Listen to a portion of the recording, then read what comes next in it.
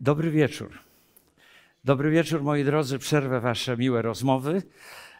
Teraz usłyszycie jakieś inne miłe rzeczy, mam nadzieję. Cieszę się, że po przerwie jednotygodniowej, to znaczy dwóch w tym momencie, dwutygodniowej przerwie, spotykamy się znowu. No ale tak jak mówiliśmy, y, jak a to było na Zoomie, kiedy spotkałem się z tą grupą, to pamiętacie, że, że powiedziałem, no to, to, to jest tak jak ten siódmy rok prawda, sabatowy, więc mieliście po tamtych sześciu wykładach, siódmy był wolny, a teraz zaczynamy kolejną siódemkę. Ogromnie się cieszę, że jesteśmy razem i cieszę się z tego, że będziemy mogli kontynuować. Wierzę, że bez żadnych teraz przerw, bez żadnych y, y, dodatkowych nagle obowiązków, kolejne sześć wykładów, które y, planuję w tym seminarium. Y, dzisiaj rozpoczniemy kolejną część. Ale zanim o tym powiem, to pozwólcie, że chciałbym, yy, chciałbym zaprosić Was do modlitwy, jak zawsze, bo chcemy przede wszystkim odczuwać obecność naszego Pana pośród nas. Dziękuję. Niektórzy już wstali. Jeżeli możecie powstać, powstańcie, proszę.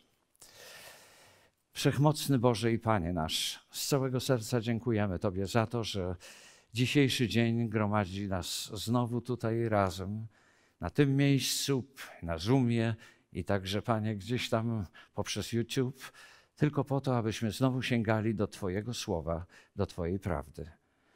Nie wyobrażam sobie tego bez Twojej obecności pośród nas. Dlatego z całego serca proszę, wysłuchaj nas, Boże, i błogosław. I spraw, byśmy mogli odczuwać, że Ty otwierasz przed nami prawdy, które są tak niezwykle ważne na czas, w którym przyszło nam żyć o takie błogosławieństwo i obecność pośród nas. Proszę w imieniu Pana Jezusa Chrystusa, naszego Zbawiciela. Amen. Usiądźcie, proszę.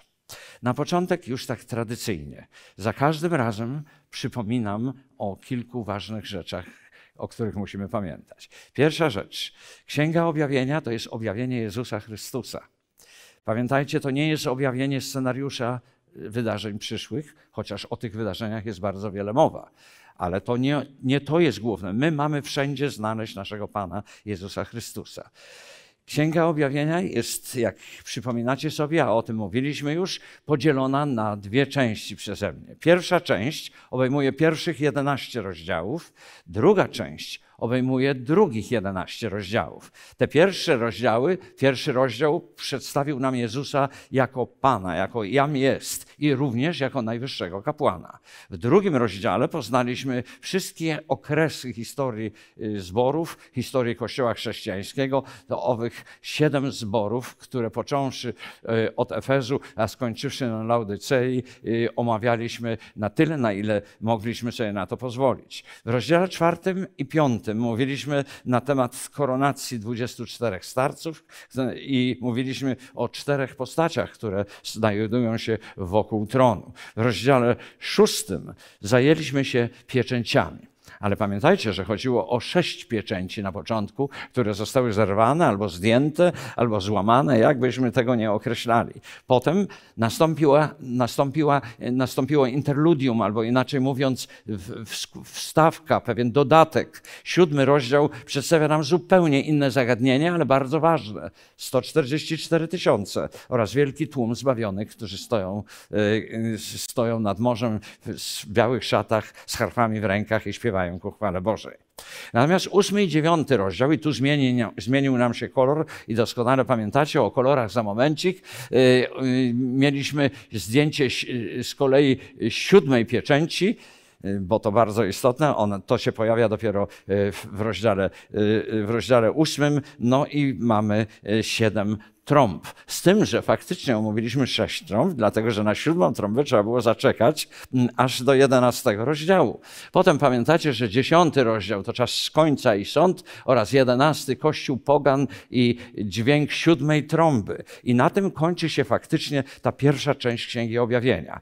Tych pierwszych jedenaście rozdziałów przedstawia nam cały czas i widzimy Jezusa, jam jest Jezusa, który jest równocześnie najwyższym kapłanem. Ale rola Jezusa Jezusa, począwszy od rozdziału 12, zmienia się.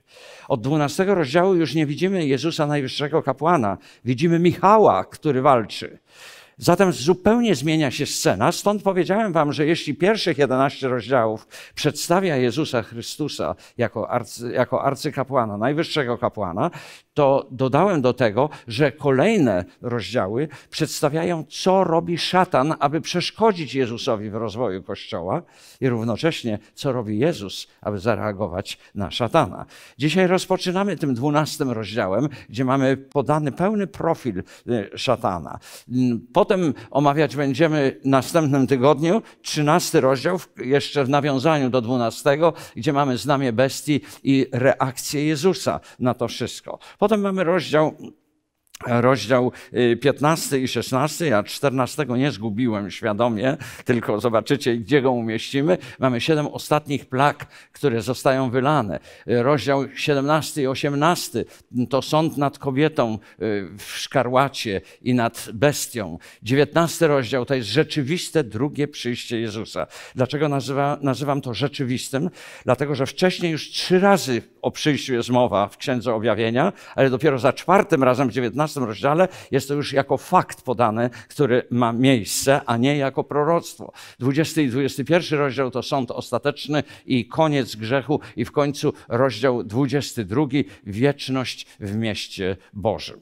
Y, to mamy to, mamy to. i pamiętajmy o tym, że y, chociaż Jezus wciąż nie przestaje być Bogiem jam jest, i chociaż Pan Jezus wciąż jest najwyższym kapłanem, od 12 rozdziału pojawia się nam jako Michał, dlatego że od 12 rozdziału mówimy o walce, jaką szatan wytoczył przeciwko Kościołowi i po drugiej stronie mamy armię Bożą. Ostatni wykład, jeśli przypominacie sobie, kończyliśmy tym, że mówiliśmy na temat, y, na temat tego, mm, że y, mamy dwie armie. Armię szatana, który ma jedną trzecią tylko aniołów, ale za to ma zdecydowaną większość ludzi po swojej stronie i armię Bożą, na czele którego, której stoi y, arcyksiąże y, Michał, y, który jest dowódcą, dowódcą tej armii.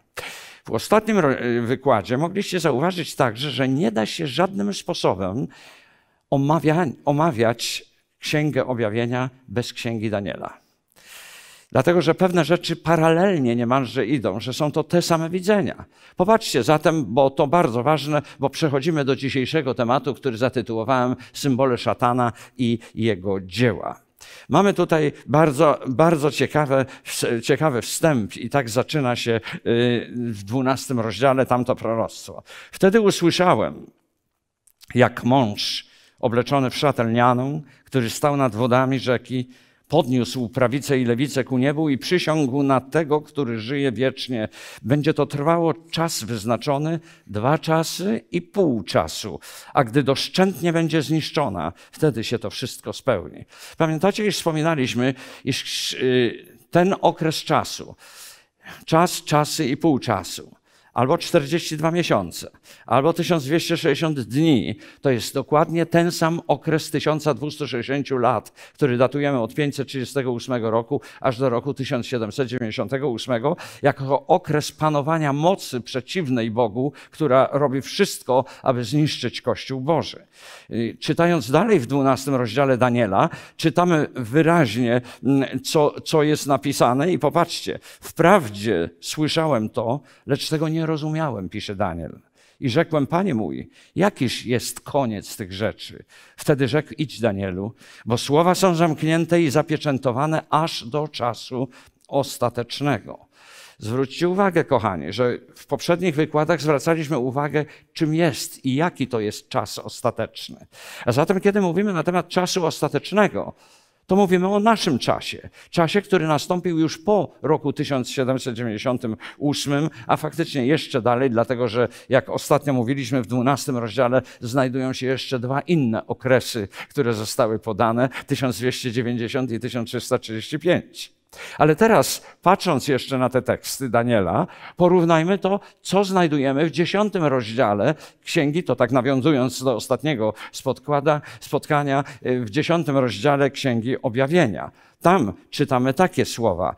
Anioł zaś, którego widziałem, stojącego na morzu i na lądzie, podniósł prawą rękę swoją ku niebu i poprzysiągł na tego, który żyje na wieki wieków, który stworzył niebo i, i to, co w nim, i ziemię, i to, co na niej, i morze, i to, co w nim, że to już długo nie potrwa. Zatem zwróćcie uwagę, Przedtem na górze z Daniela czytaliśmy też o tym samym. Mamy dokładnie do czynienia wciąż z tym aniołem, który stoi, przysięga, podnosząc rękę do góry.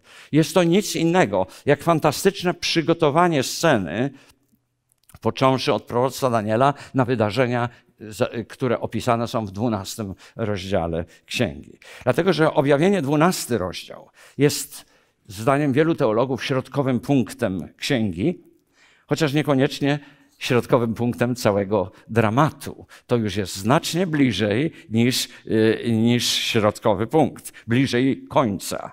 Począwszy od rozdziału 12 pojawiają się końcowe wydarzenia wielkiego boju pomiędzy Jezusem i szatanem. Co więcej, zwróćcie uwagę na te teksty, specjalnie je pozostawiłem, abyśmy mogli wszyscy je śledzić. Wiele z objawionych rzeczy to te, które zostały zapieczętowane za dni Daniela, których prorok nie zrozumiał, ani też nikt aż do czasu końca. Jak dotąd Jezus został objawiony jako najwyższy kapłan, który wyjaśnia prawo i ostrzega przed tym, co się stanie, jeśli prawo będzie lekceważone. Rozdział 12 zatem natomiast identyfikuje i objawia szatana, którego charakter i działania są całkowitą odwrotnością współczucia, miłosierdzia i miłości Jezusa. Szatan, mimo swego zła, złośliwości i oskarżycielskich, destrukcyjnych zamiarów, nie zwyciężył. Ostateczne zwycięstwo należy do Chrystusa i Jego wiernych. Według proroctwa znajdujemy się w czasie końca i nikt nie wie, kiedy nastanie koniec. Zwlekanie z podjęciem decyzji o przyjęciu prawdy może być wieczną tragedią. I tutaj muszę dodać jedną rzecz. Faktycznie, gdybym was wcześniej, jeszcze przed spotkaniem, zapytał, co jest w dwunastym rozdziale Księgi Objawienia, prawdopodobnie wszyscy skojarzylibyście tak, jak ja jeszcze niedawno także kojarzyłem. No jest to cała historia Kościoła chrześcijańskiego, jak przetrwał, chociaż mimo tego, że w 17 werset mówi nam o tym, że została z niego tylko resztka. I wtedy zajmujemy się tą resztką, aby udowodnić, że jeśli my nią nie jesteśmy, to musimy mieć takie a takie cechy. Ja zwykle wymieniam aż siedem cech z tego jednego tekstu, które charakteryzują Kościół Boży. Nie będę o tym dzisiaj mówił. Dzisiaj chcę, żebyśmy się skupili na przeciwniku Boga abyśmy zrozumieli, z kim Chrystus prowadzi walkę. I to jest bardzo istotne, abyśmy mogli to właśnie w taki sposób zrozumieć. Zatem w objawieniu 12 rozdziale, tak jak już wspominałem wcześniej, nagle pojawia się Michał jako dowódca Armii Bożej. A zatem mamy już jakiś taki batalistyczny obraz. Mamy wojnę, która się toczy pomiędzy siłami zła a siłami dobra. W tym przypadku to siły dobra są atakowane i dlatego w ogóle mówimy o siłach dobra, o armii, bo musi, bo musi podjęta być walka. Oczywiście nie mówimy tutaj o walce takiej, jak to się dzieje, dzieje dzisiaj w czasie wojen, bez względu na to, czy na Ukrainie, czy gdzie indziej. Nie, mówimy o wojnie duchowej, o wojnie, która jest znacznie groźniejsza i jej skutki są znacznie głębsze. Pamiętajmy jedno. Michał oznacza dosłownie, kto jest taki jak Bóg. A słownik tłumaczy, że to słowo oznacza dosłownie jeden z. Szef lub pierwszy archanioł, który jest opisany jako ten, który powstaje podczas konfliktu o dzieci Izraela. Zatem musimy popatrzeć teraz na pewne teksty. Daniel 12 rozdział i wiersz pierwszy. W tym czasie powstanie wielki książę, Michał, który się wstawia za synami Twojego ludu, a będzie to, to czas ucisku, jakiego nie było odkąd istnieją narody, aż do tego czasu. A w tym czasie zostanie ocalony Twój lud, każdy znaleziony jako zapisany w księdze. A teraz sięgamy do dwunastego rozdziału i objawienia i siódmy i ósmy werset. I wybuchła walka w niebie. Michał i aniołowie jego stoczyli bój ze smokiem i walczył smok i aniołowie, lecz nie przemógł i nie było już dla nich miejsca w niebie.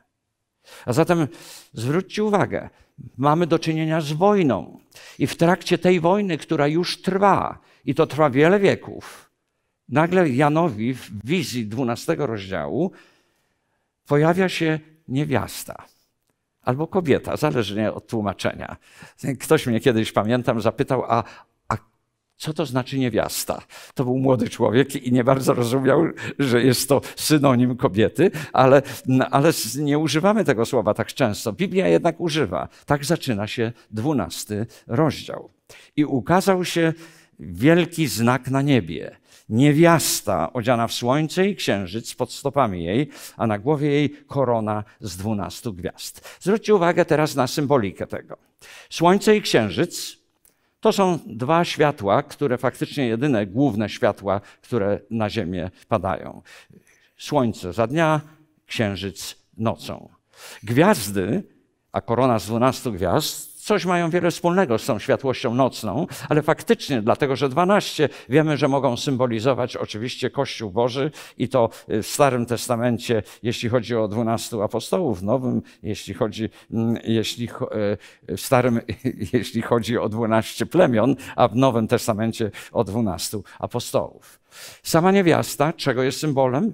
Można by tu przytoczyć wiele różnych tekstów. Jeden z nich, który w tej chwili chcę wam, e, chcę wam zacytować, to córka syjońska według proroctwa Jeremiasza podobna jest do pięknej panny. Pamiętamy zresztą doskonale z drugiego listu apostoła Pawła do Koryntian z 11 rozdziału, tekst, który mówi o tym, że on, Paweł pisze, ja zaręczyłem was z jednym y, mężem, y, jako pannę czystą. Kościół Boży zawsze jest, w ogóle Kościół zawsze reprezentowany jest przez kobietę lub niewiastę. Z tym, że jakoś ładniej nam brzmi niewiasta w kontekście Kościoła Bożego. 17 rozdział Księgi Apokalipsy, który mówi o innej niewieście. Już nie mówimy o niewieście, tylko mówimy o kobiecie, która siedziała tam. Co jest ciekawe, że takie automatycznie coś takiego się pojawia. Zwróćmy uwagę coś więcej. Ta kobieta, ta niewiasta była brzemienna i w bólach porodowych i w męce rodzenia krzyczała. A potem w piątym wersecie czytamy, że porodziła syna, chłopczyka, który rządzić będzie wszystkimi narodami laską żelazną dziecię jej zostało porwane do Boga i do Jego tronu. Tak więc, czego, co symbolizuje niewiasta? Jest to zupełnie oczywiste. Symbolizuje Kościół Boży. Symbolizuje Kościół zarówno w tym momencie Starego, jak i Nowego Testamentu, chociaż zawsze kojarzymy to przede wszystkim z Nowym Testamentem z wiadomych, zupełnie oczywistych, yy, oczywistych przyczyn. Ale w tym momencie, w objawieniu w 12 rozdziale, pojawia się inny znak, inny symbol. I jest to bardzo ciekawe. Symbol, który ma identyfikować szatana. Trzeci i czwarty werset. Popatrzmy na to. I ukazał się drugi znak na niebie. Oto ogromny rudy smok mający siedem głów i dziewięć rogów, a na jego głowach siedem diademów, a ogon jego zmiótł i trzecią część gwiazd niebieskich i strącił ją na ziemię. I stanął smok przed niewiastą, która miała porodzić, aby skoro tylko porodzi, pożreć jej dziecię. Ten rudy smok, czyli czerwony, czerwony smok jest kolorem grzechu, to tłumaczyliśmy już, jest kolorem krwi, to też żeśmy mówili, a zatem oczywiste jest, że czerwień w tym przypadku bardzo pasuje do szatana. On jest źródłem grzechu, on jest źródłem y, przelewu krwi, on jest źródłem nieszczęścia wśród ludzi. Zatem w naturalny sposób y, rozumiemy, że to tylko tak można, y, w taki sposób można łączyć. Ale ten ognisto-czerwony smok ma siedem głów, a każda głowa reprezentuje pewne państwo cesarstwo, królestwo na ziemi, bardziej cesarstwo, bo tu chodzi o mocarstwa przecież, które poprzez swoją wierność szatanowi przez pewien czas kontrolowało, zwodziło i prześladowało lud Boży. I to jest, to jest bardzo ważne. Pamiętajmy, że walka szatana rozpoczęła się znacznie wcześniej, nie dopiero w momencie, kiedy Pan Jezus y, zapoczątkował, a apostołowie założyli Kościół chrześcijański. To byłoby fatalnym błędem. Ta walka szatana rozpoczęła się w tym momencie, kiedy pojawił się po raz pierwszy lud Boży. Wiecie, kiedy ten lud się pojawił? Jeszcze nie możemy powiedzieć, że Abraham to jeszcze nie był ludem. Dopiero potomkowie Abrahama. faktycznie potomkowie Jakuba, którzy roz, rozmnożyli się tak bardzo w Egipcie. Stąd siedem głów, które ma, y, które ma ów smok, jest interpretowanych w bardzo prosty sposób. Oto pierwsza głowa, o której mówimy, to jest pierwsze państwo, które otwarcie wystąpiło przeciwko ludowi Bożemu Egipt. Drugie państwo, które otwarcie wystąpiło przeciwko ludowi Bożemu i to w VIII wieku przed naszą erą, Asyrja. Trzecie państwo, które wystąpiło przeciwko ludowi Bożemu i to zarówno y, końcem VII wieku i VI wieku, to oczywiście Babilon. Potem mamy Medopersję, o tym nie musimy wiele mówić, potem mamy Grecję, to jest także oczywiste, potem mamy Cesarstwo Rzymskie i to jest to, co do 476 roku naszej ery całkowicie śmiało istnieje, rozwija się, wszystko się wydaje, że no, najpotężniejsze i najdłużej istniejące państwo z tych wszystkich i rozkład na 10 części. Ale tutaj chcę Waszą zwrócić uwagę, że faktycznie Cesarstwo Rzymskie, które przestało istnieć w 476 roku, wciąż istnieje nadal, nie w sensie państwa zorganizowanego, ale w sensie tych, którzy kontynuują dokładnie to, co robiło cesarstwo. A ponieważ mówimy to w kontekście Kościoła, ludu Bożego, w związku z tym Cesarstwo Rzymskie y, było głównym y, organem walczącym z Kościołem, z chrześcijaństwem wtedy, robiącym wszystko, żeby to chrześcijaństwo przestało istnieć, co spotkało się oczywiście z niepowodzeniem, dlatego że chrześcijaństwo rozwijało się nadal, ale jest pewien czynnik, który staje się siódmą głową. I ten, ta siódma głowa to jest dalej Rzym, ale papieski. I Słowo Boże bardzo jasno na ten temat mówi, właśnie o tym to musimy zauważyć nie tylko w dwunastym, ale przede wszystkim w trzynastym rozdziale y, Księgi, y, Księgi y, Objawienia. Zwróćcie uwagę jeszcze na jedno, że ogon smoka, o czym czytaliśmy wcześniej już, ściągnął, porwał za sobą jedną trzecią gwiazd niebieskich że ściągnął za sobą jedną trzecią aniołów z niebie, którzy stanęli po stronie szatana. Tak wyraźnie to jest napisane w czwartym wersecie, a ogon jego zmiótł trzecią część gwiazd niebieskich i strącił ją na ziemię. I tutaj widzę pewne porównania. Pamiętacie, że na, kiedy mówiliśmy na temat y, piątej i szóstej trąby, to mówiliśmy przy trąbach bardzo wyraźnie na temat tego, że y, mamy do czynienia, y, Jan używa takiego porównania, dlatego że tak w wizji zostało mu to objawione z szarańczą i ze skorpionami. Zatem to jest bardzo ciekawe, że to podobieństwo do skorpionów i szarańczy jest bardzo typowe w tym momencie, co się dzieje. Popatrzmy na dziewiąty rozdział y, objawienia, żeby sobie to przypomnieć. A z tego dymu wyszły na ziemię szarańcze, którym dana została moc, jaka, y, jaką jest moc skorpionów na ziemi. I tutaj małe wyjaśnienie jeszcze troszeczkę na ten temat, y, y, jak to, a może przeczytajmy jeszcze te teksty niektóre, a ból przez nie wywołany był jak ból ukłucia skorpiona. Gdy ukłuje człowieka. I w końcu dziesiąty werset z tego samego rozdziału. Miały też ogony podobne do skorpionowych oraz żądła. Straszny obraz, straszny widok.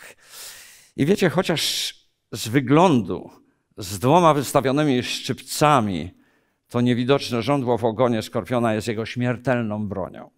Jak sobie nie radzi z przodu, to jego ogon nagle atakuje i jest to śmiertelne dla ofiary prawie zawsze. Coś niesamowitego, jest bardzo cichy, jest niesamowicie szybki i bardzo śmiały w takim działaniu. Taka jest jego po prostu natura i to jest bardzo charakterystyczne. Wartości związane z symbolami, ta chmura szarańczy, wozy wojenne, głębia otchłani y, w piątej i szóstej trąbie, odnoszą się do szatana i aniołów. Wraz z nim, zrzuconych na ziemię, opisują ich działania lub symptomy tych działań. I tutaj y, na ekranie zauważyliście teraz, napisałem cośkolwiek jeszcze raz, żeby przypomnieć o szarańczy. Jest to szeroko rozpowszechniona rodzina owadów prostoskrzydłych o długości nawet 10 centymetrów. Potraficie sobie taki owadzik wyobrazić? I nigdy sam nie przylatuje? tylko przylatuje ich kilkadziesiąt tysięcy, kilkaset tysięcy, a może nawet milion, po prostu chmura, dlatego się mówi o chmurze szarańczy. I kiedy osiądą na ziemi, zjadą, zjedzą wszystko, co było do zjedzenia. Wędrują rodzinnie, są wielkimi szkodnikami upraw, wielkie roje tworzą prawdziwe chmury zasłaniające światło słoneczne. Widziałem nawet takie zdjęcia, które pokazują, gdy słoń, duży słoń stoi i nagle znika, bo szarańcza przylatuje, przylatuje obok niego i nie ma słonia. Co, coś niebywałego, coś niebywałego. Jest to mm, przerażające prawdopodobnie także dla, y, dla zwierząt i to tak dużych jak słoń. Konie wojenne. Używano je w konfliktach, co dawało taktyczną przewagę, wywołując strach w sercach tych, którzy mieli stawić im czoła. Zresztą my, Polacy, to troszeczkę na ten temat wiemy, prawda? Pamiętacie husarię? Na czym polegała potęga i zwycięstwo i zastraszenie przez husarię wszystkich wojsk? Na szumie skrzydeł, które żołnierze mieli, rycerze mieli jeszcze na swoich plecach i, i tych koniach uzbrojonych, które były tak niesamowite, że ludzie uciekali już tylko na widok, nie potrafili stawić im czoła. To było właśnie tajemnicą tego niesamowitego zwycięstwa, zwycięstwa y, między innymi naszego króla sowieckiego. No i jeszcze mamy jedną rzecz otchłań, bo to bardzo ważne. Tak nazywamy miejsce pełne zamieszania, ciemności, chaosu. Czasami rozumiemy także przez te głębokie wody. Tak wyraźnie słowniki to definiują. Ale wróćmy do 12 rozdziału Księgi Objawienia. Dziewiąty werset. I zrzucony został ogromny smok, wąż starodawny zwany diabłem i szatanem, który zwodzi cały świat, zrzucony został na ziemię, zrzuceni też zostali z nim i jego aniołowie.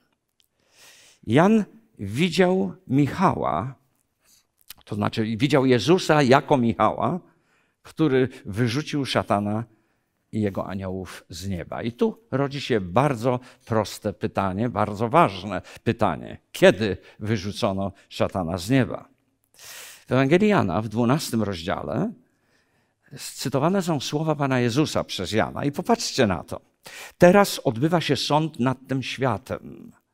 Teraz władca tego świata będzie wyrzucony, a gdy ja będę wywyższony ponad ziemię, wszystkich do siebie przyciągnę, a to powiedział, by zaznaczyć, jaką śmiercią umrze. Zatem Jezus mówi tutaj jeszcze przed śmiercią, że szatan będzie wyrzucony. Zatem wiemy doskonale i co do tego nie ma żadnych, e, żadnych wątpliwości, e, że szatan został wyrzucony zaraz trakcie, kiedy Jezus umiera na Golgocie. To był ten czas. Już nie będę z wami, to znowu cytat z Ewangelii Jana, nie będę z wami wiele mówił, nadchodzi bowiem władca tego świata. Nie ma on jednak nic swego we mnie. Jezus jest zwycięzcą, jak mówiliśmy, za każdym razem. I chociaż poddany był niesamowitym pokusom, chociaż poddany był niesamowitym próbom, Jezus zwycięża za każdym razem. I chwała Bogu za to. Mamy Pana, który jest zwycięzcą i który, i który zawsze jest dla nas takim wzmocnieniem, kiedy myślimy o tym. Dziesiąty, jedenasty werset tego samego rozdziału. I usłyszałem donośny głos w niebie mówiący: Teraz nastało zbawienie i moc i panowanie Boga naszego i władztwo pomazańca Jego, gdyż zrzucony został oskarżyciel braci naszych, który dniem i nocą oskarżał ich przed naszym Bogiem. A oni Zwyciężyli go przez krew baranka i przez słowo świadectwa swojego i nie umiłowali życia swego tak, by raczej je obrać niż śmierć. Kolejny werset, dwunasty, dodaje takie słowa. Dlatego weselcie się niebiosa i wy, którzy w nich mieszkacie. Lecz biada ziemi i morzu, gdyż stąpił do was diabeł, pałający wielkim gniewem, bo wie, iż czasu ma niewiele. I jeszcze trzynasty werset, bo to bardzo ważne. A gdy smok ujrzał, iż został zrzucony na ziemię, zaczął prześladować niewiastę, która porodziła chłopczyka. Na chwilę musimy się cofnąć i to dość daleko, aż do Edenu. Pomyślcie, kochani, szatan zostaje zrzucony po śmierci Jezusa ale zrzucony na ziemię. To znaczy, jest to ostatnia próba po to, aby pokazał całemu wszechświatu, kim jest naprawdę, do czego doprowadził ten świat. Kiedy jednak zaczęła się walka szatana? Dopiero kiedy został zrzucony na ziemię? Nie. Zaczął od samego początku i to właśnie w Edenie. Znamy całą historię i wiemy, co było. I teraz mam takie dziwne pytanie. Co było pierwsze w ogrodzie Eden? Pomyślcie na moment. Drzewo wiadomości dobrego i złego, czy jego owoc z tego drzewa? Oczywiście logika ludzka każe nam powiedzieć, no oczywiście, że drzewo, przecież nie może być owoc, jeżeli nie ma drzewa. Tylko zważcie, na to, że my mówimy cały czas o pewnej symbolice znaczenia tych słów i, tych, i tego, o czym tutaj mówimy. Przecież to jest bardzo istotne, abyśmy e, byli tego świadomi. Skoro Bóg zdecydował się umieścić w ogrodzie Eden przy stworzeniu drzewo wiadomości dobrego i złego, to znaczy, że zło musiało już istnieć. Prawda? To zupełnie logiczne. No bo jeżeli jest drzewo wiadomości dobrego i złego, to znaczy, że zło musiało już istnieć w takim razie, w tamtym czasie. W takim przypadku, jeżeli byśmy tak mieli mówić, to owoc był pierwszy. Bunt szatana zaczął się w niebie, zanim Bóg powołał do istnienia ten świat. Szatan ze swymi aniołami został wyrzucony z nieba po śmierci Jezusa na Golgocie, gdy przywrócona mu została władza nad ziemią i szatanem. Jezusowi oczywiście, bo jego śmierć na Golgocie dała mu pełne prawo do panowania. On z powrotem przejął kontrolę nad tym światem, ale jeszcze jest pewien czas i to bardzo ważne. I teraz jeszcze śmieszne kolejne pytanie. Wybaczcie takie określenie, że śmieszne. No, ale czy owoc mógł gryźć? Czy był to owoc trujący?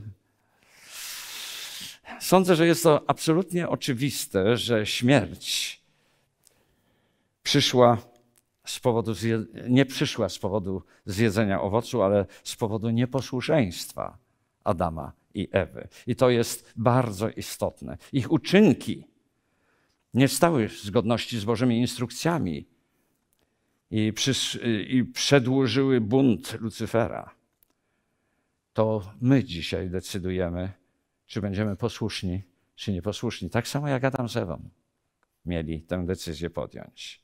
Zatem pamiętajmy, posłuszeństwo lub nieposłuszeństwo. Informacja o konflikcie pomiędzy Jezusem i szatanem znajduje się w Księdze Rodzaju w trzecim rozdziale i piętnastym wersecie. Wiecie, nazywamy to protoewangelią. Ustanowię nieprzyjaźń między tobą a kobietą, między Twoim potomstwem a jej potomstwem. Ono zdepcze Ci głowę, a Ty ukończysz je w piętę. I spróbujmy przeanalizować ten tekst teraz bardzo dokładnie, bo to bardzo ważne. Tobą, czyli chodzi o szatana, i kobieta, czyli chodzi o lud Boży. Twoje potomstwo, to znaczy potomstwo człowieka. Y, y, o, tu jest błąd, przepraszam bardzo, e, to znaczy potomstwo szatana i jej potomstwo chodzi o Jezusa. Twoja głowa zostanie zdeptana przez, przez potomstwo właśnie niewiasty. Ty ukąsisz jednak go w piętę. I to jest bardzo istotne. Pamiętajmy o tym, o co chodzi w tym, chociaż to znamy z pamięci, ale warto sobie to bardzo wyartykułować, bo to niezwykle ważne. I czytamy potem dalej że uciekła niewiasta na pustynię, gdzie ma miejsce przygotowane przez Boga, aby żywiono ją tam przez 1260 dni. Mamy tutaj wyraźnie to powiedziane. Y, I pamiętajmy, że gdy mówimy o kobiecie czy niewieście, to mówimy o ludu Bożym. Zawsze pamiętajmy o tym, bo zawsze to w Biblii w taki sposób funkcjonuje. Czternasty werset. I dano niewieście dwa skrzydła wielkiego orła, aby poleciała na pustynię, na miejsce swoje, gdzie ją żywią przez czas, czasy i pół czasu z dala od węża. I dalej czytamy w 15 i 16 wersecie takie słowa. I wyrzucił wąż z paszczy swojej za niewiastą strumień wody, aby ją strumień porwał. Lecz ziemia przyszła niewieście z pomocą i otworzyła swoją gardziel i wchłonęła strumień, który smok wyrzucił z swojej paszczy. Oczywiście szatan, wąż. Ewa została zwiedziona słowami węża. Pamiętajmy o tym, że on już wtedy starał się zniszczyć Kościół Boży. To jest to, co czytałem przed chwileczką. Wyrzucił z paszczy swojej za niewiastą strumień wody. Słowa węża wywołały potop, a przecież wody to ludy, tłumy, narody, języki. Jak wiemy to dobrze y, z 17 rozdziału mm, Księgi Objawienia. Celem tego było przytłoczenie niewiasty masą ludzką, a następnie unicestwienie Kościoła apostolskiego. Niewiasta uciekła na pustynię. Oczywiście nie chodzi o Saharę, o piaszczystą y, pustynię, gdzie nie ma nawet y, trudną oazę z wodą.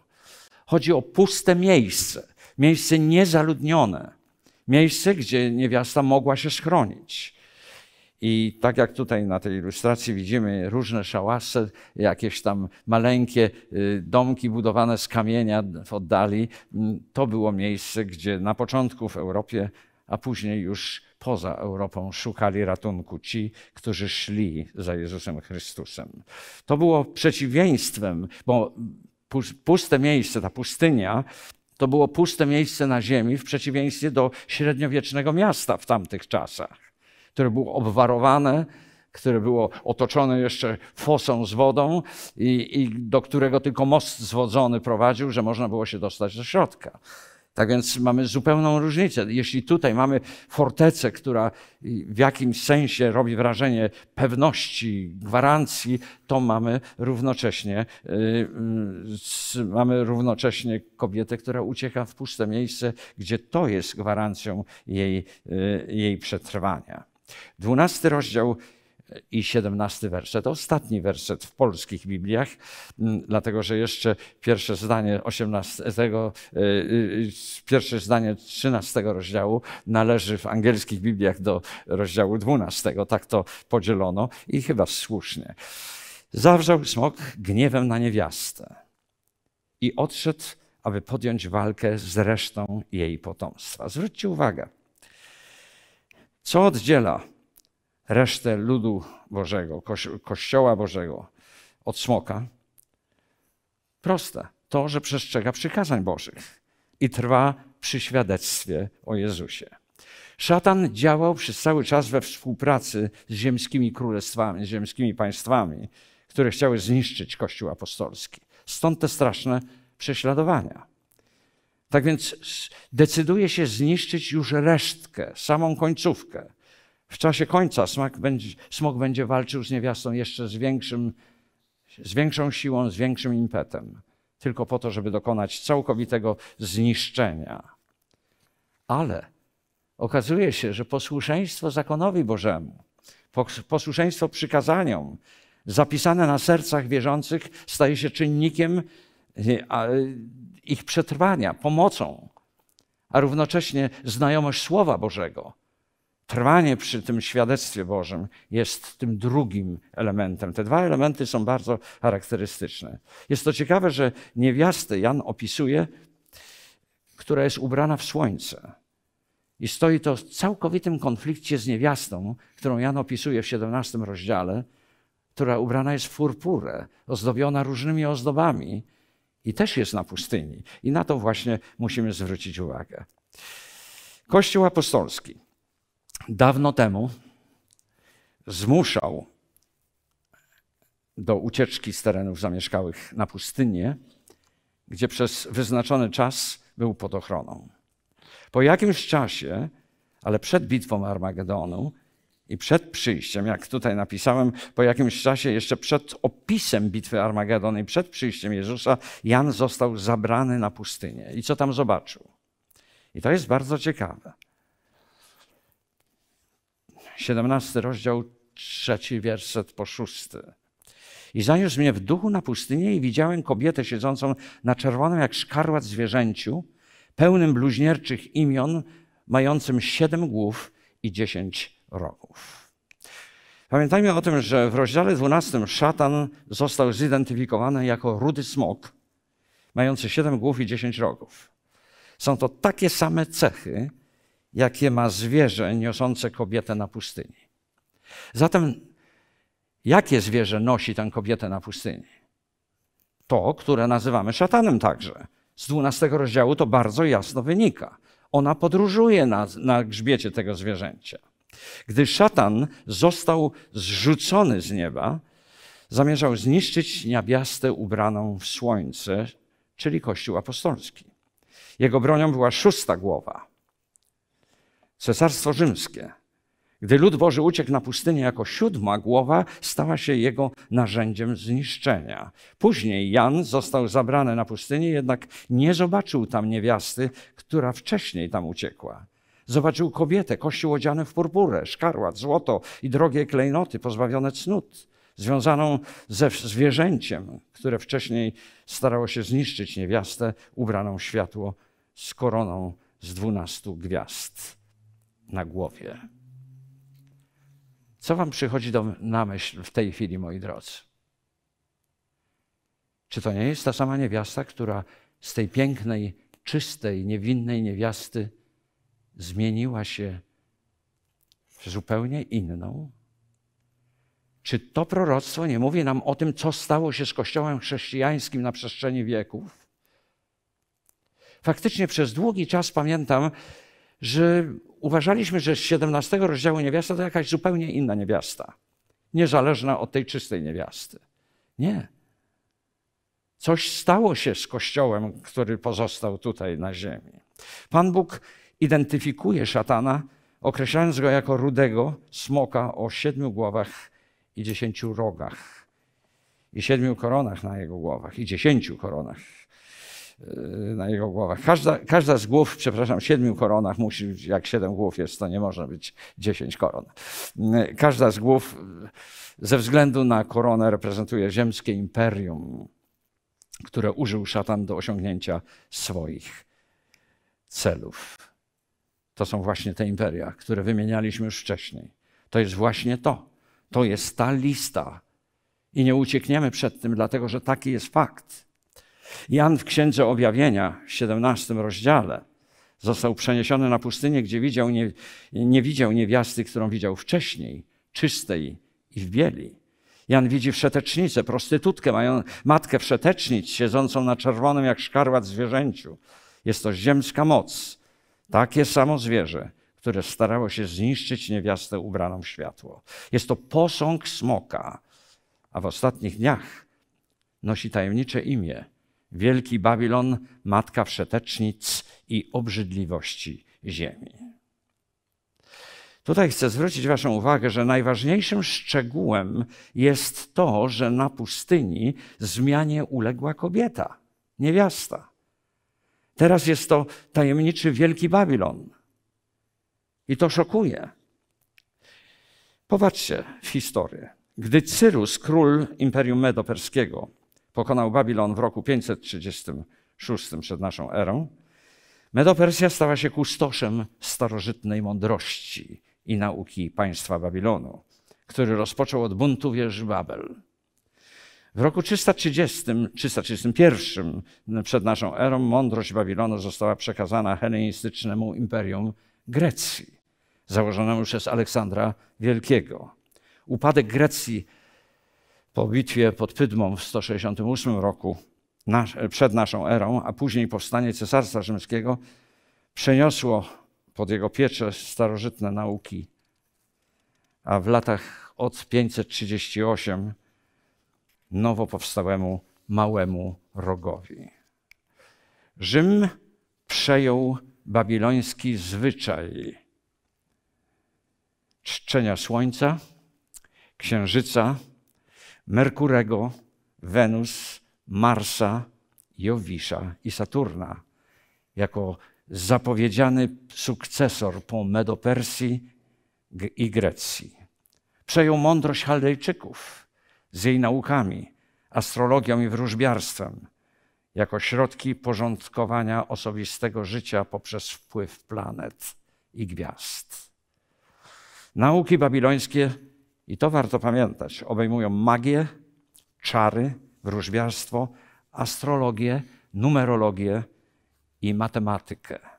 O, matematyka bardzo wysoko była rozwinięta w Babilonie, o czym na następnym spotkaniu za tydzień będę chciał Wam powiedzieć coś jeszcze więcej. Pogański kult wywodzący się z Babilonu wykorzystywał symbole, obrazy, przedmioty lub formy do wyobrażenia bogów słońca, księżyca, gwiazd, szczególnych osób i stworzeń, rzeczywistych lub wymyślonych. Czczono tam portrety, ikony, bożki, wizerunki, rzeźby ze złota, srebra, innych drogich metali, klejnotów, drewna, płótna, kości słoniowej czy kamienia. Pogańska sztuka i architektura obejmowały powtarzające się formy krzyża, koła, wież lub spirali, kopuł, okien, witraży i nimbów. A to tylko maleńkie przykłady. Kult skupiał się na słońcu jako źródle ciepła i światła, które, jak wierzono, dawały życie światu. Ogień, płomień, świece, światło po zapaleniu świecy dla, mo dla modlitwy za zmarłych lub wieczny ogień, pochodnia czy jakieś specjalne światełko wszystko to uważano za szczególny przejaw czci. Włączono do nabożeństw, rytuałów, obrzędów, form uwielbienia, procesji i zwyczajów religijnych. Ponieważ pogańskie kulty prowadzą nas wstecz do wieży Babel, istnieje błędna akceptacja tych rzeczy na bazie historii.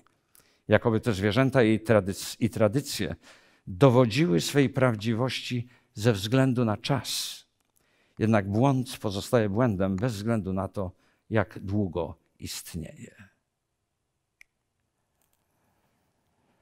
Od wieży Babel, tak jak przed chwileczką czytaliśmy, do Babilonu.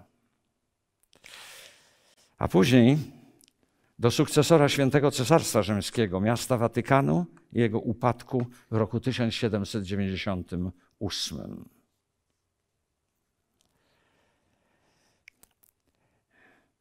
Zwróćcie uwagę na tą niesamowitą rzeźbę.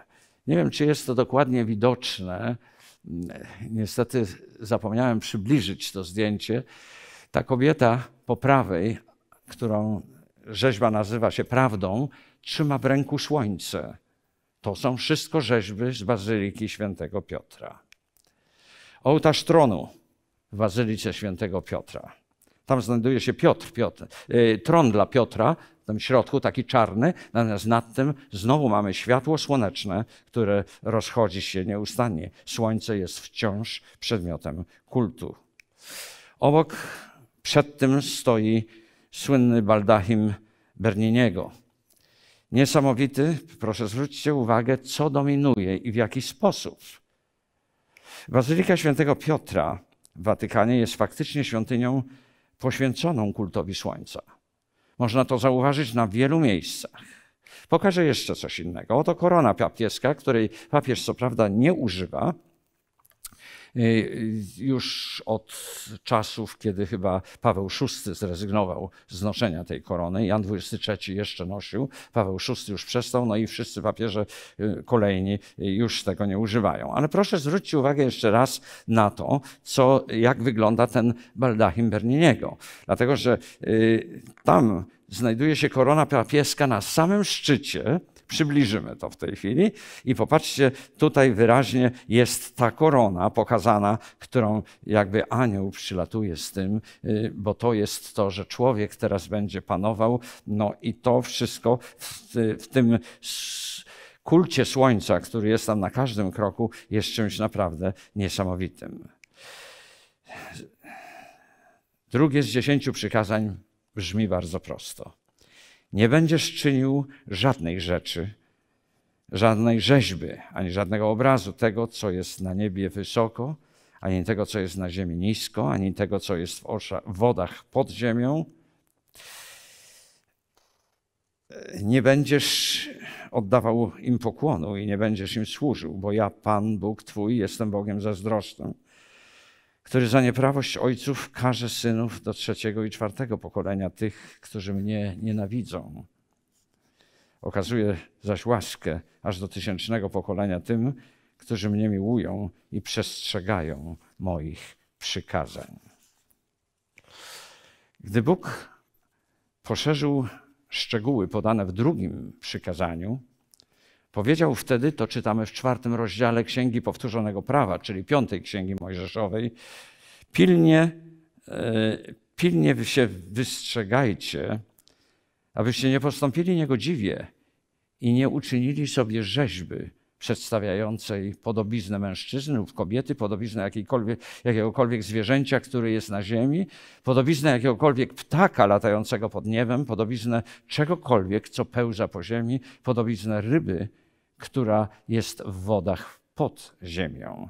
I po prawej mamy jeszcze dziewiętnasty werset, który mówi: Gdy podniesiesz oczy ku niebu i ujrzysz słońce, księżyc i gwiazdy i wszystkie zastępy niebios, obyś nie pozwolił się zwieść, nie oddawał im pokłonu i nie służył, bo Pan Bóg Twój przydzielił je wszystkim narodom pod niebem. Jeszcze kilka zdjęć. Oto jest E, opactwo Melk w Austrii. Bardzo ciekawe miejsce. Zwróćcie uwagę na słońce obecne wszędzie, nawet na tamboną. Wyraźnie to widoczne. Zwróćcie uwagę tym razem na Kościół katolicki w Miltenberdze. Bardzo interesujące. Popatrzcie na to zdjęcie. Jest to e, e, z kolei mm, miejscowość Durstein e, w Niemczech i tam mamy także Kościół katolicki, gdzie wszędzie obrazy słońca są tak bardzo charakterystyczne. Cóż zrobimy, skoro to wszystko przeszło do owej siódmej głowy smoka? Dwunasty rozdział Księgi Apokalipsy bardzo wyraźnie pokazuje nam, czym jest ta głowa, gdzie zauważać błędy. I nie jest to atak na kogokolwiek personalnie. Jest to atak na pewien system, krytyka systemu, ale to niestety wyraźnie zostało nam objawione. Trzynasty rozdział, do którego musimy zajrzeć za tydzień, powie nam bardzo wiele na ten temat bo kolejny wykład ma tytuł Piętno bestii i 666. Zwierzęta, mały róg i oddawanie czci. A dzisiaj? Zwróćcie uwagę, że dwunasty rozdział, który tak jasno pokazuje, kim jest szatan i jaka jest jego metoda działania, pokazuje równocześnie, czego dokonuje Bóg dla swojego ludu. I chociaż nawet niewiasta dostała skrzydła, aby mogła się przenieść szybko na inne bezpieczne miejsce. I chociaż Bóg gwarantuje pomoc, wciąż bądźmy świadomi jednej rzeczy. Jest tylko resztka, która decyduje się trwać przy nim wiernie. Czy należymy do resztki? Czy jesteśmy zainteresowani, by stać tak wiernie, bez względu na wszystko, po stronie Bożej? Taką decyzję może podjąć tylko każdy osobiście. Ale nie o własnych siłach, bo nasz Jezus daje siły ku temu, aby każdy mógł się okazać zwycięzcą. Chciejmy się pomodlić. Ukochany nasz Boże i Panie, jeszcze raz przychodzimy do Ciebie, aby podziękować, że na kartach tej niesamowitej księgi, jaką jest Księga Apokalipsy, pokazujesz nam bardzo wyraźnie, jak to było, jak jest i czego możemy oczekiwać przed nami.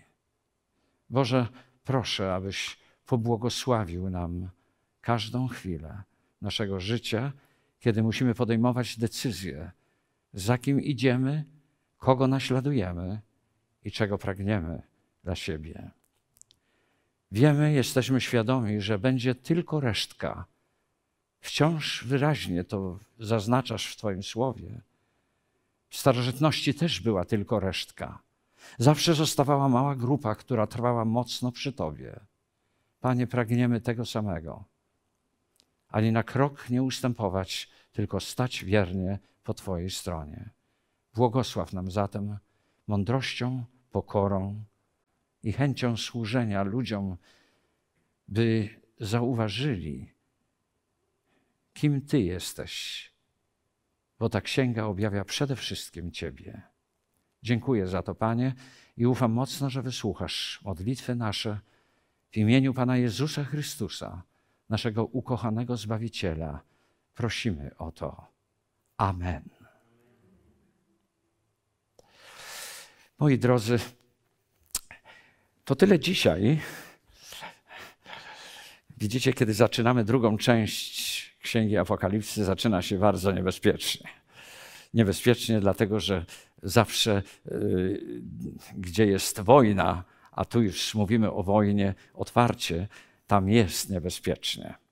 Chciałbym powiedzieć Wam, że przygotowane są dla Was materiały z dzisiejszego spotkania, trochę szersze, obszerniejsze. Y, macie mm, także ci, którzy nie byli na poprzednich spotkaniach, możecie odebrać sobie z poprzedniego i jeszcze poprzedniego. Y, jak zwykle moja żona bardzo chętnie Wam będzie służyła tym, a ja życzę Wam wiele Bożego błogosławieństwa. Stójmy przy Panu, a On zawsze poprowadzi nas do zwycięzca. Amen. Dziękuję bardzo.